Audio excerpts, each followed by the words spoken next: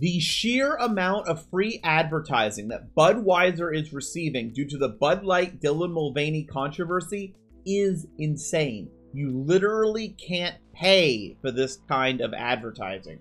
So here is the Google searches. Blue is Bud Light, red is Joe Biden, to give you an idea of where that leads.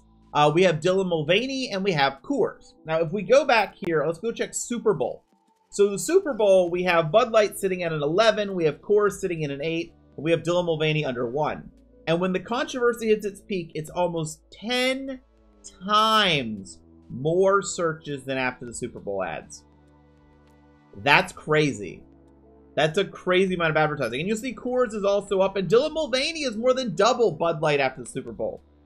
This is wild. Now, there is a Budweiser ad up on Twitter. And here's that ad here.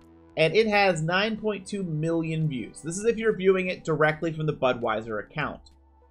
But there is a paid ad version where they paid a little bit to get it advertised. Now, I don't know how much they paid or for how many views, but that version, last I looked, has over 32 million views. And many of it's because people started retweeting the ad or replying to the ad or quote tweeting the ad angry that the ad exists.